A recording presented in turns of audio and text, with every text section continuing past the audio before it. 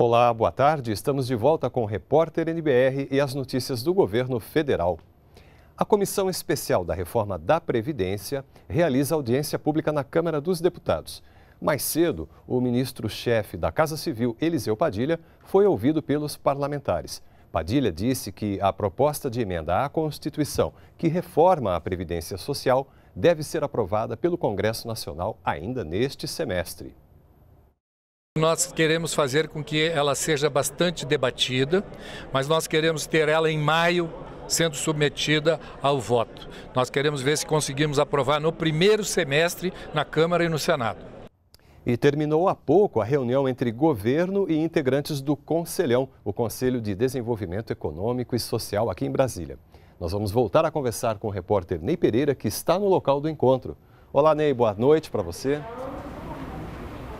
Boa noite, Roberto. Boa noite a todos. Hoje, dois grupos apresentaram seis propostas nas áreas de desburocratização e modernização do Estado e produtividade e competitividade. Ontem foram definidas nove propostas nos grupos de ambiente de negócios, agronegócios e educação básica. Quem dá mais detalhes sobre as propostas aprovadas aqui é a secretária do Conselho de Desenvolvimento Econômico e Social, Patrícia Aldi. Secretária, para que essas propostas propostas sejam colocadas em práticas dependem de que tipo de iniciativa? Projetos de lei, decretos? Algumas delas, na verdade, dizem respeito a projetos de lei, sejam PECs, decretos ou, ou próprios projetos de lei que serão levados ao Congresso.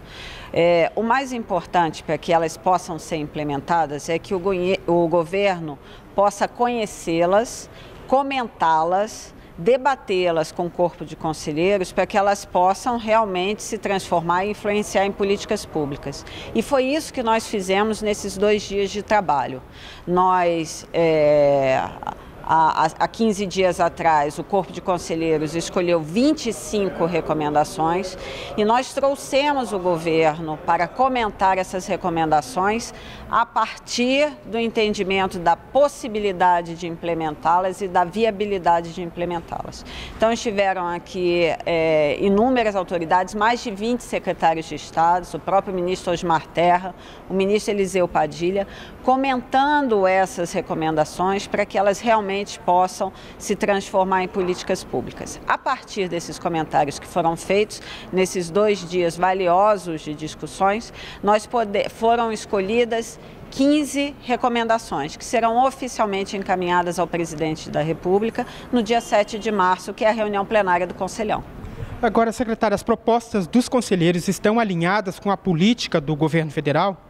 Sim, a maior parte delas, algumas são bastante inovadoras, a maior parte delas no entendimento de que o, o governo precisa é, fazer reformas importantes para garantir o desenvolvimento econômico e social do país e muitas delas dizem respeito a alterações tributárias, alterações trabalhistas, é, simplificações tributárias e a possibilidade de facilitar a vida do cidadão perante o Estado. Ok, secretária, obrigado. Eu volto com você, Roberto. Tá certo, Ney. Obrigado pela participação.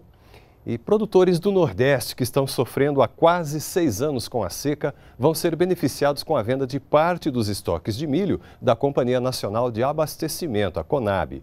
A um preço acessível, o milho vai auxiliar cerca de 45 mil famílias da região.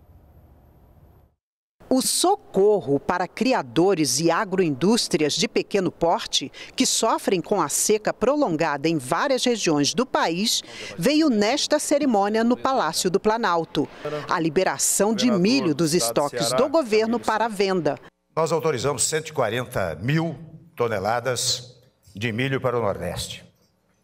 Eu quero, neste ato, autorizar mais 60 mil toneladas, portanto, perfazendo 200 mil toneladas de milho para o Nordeste.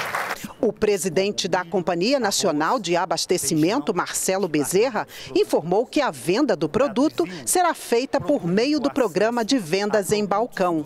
A liberação de milho dos estoques públicos anunciada hoje novamente garantirá alívio a milhares de famílias de pequenos agricultores nordestinos.